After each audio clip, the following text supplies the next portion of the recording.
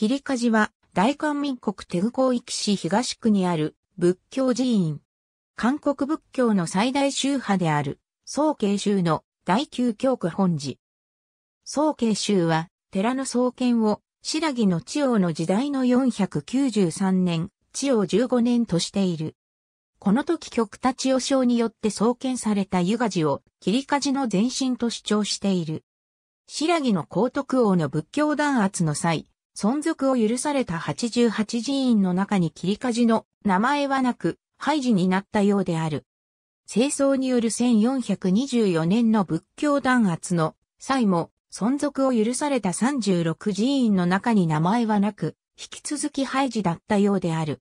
現在の切梶は1732年に再建されたものである。日本統治時代の1911年、寺設令施行規則によって朝鮮三十本山に指定された。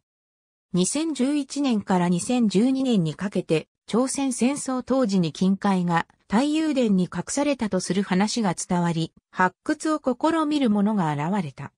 このため、寺の知名度が高まり来訪者が急増した。発掘自体は文化財の保護を理由に当局から不許可とされている。韓国の寺に近海40キロ埋めた命がけだっぽく、発掘に執念燃やす男性の運命は、産経ニュース、http コロンスラッシュスラッシュ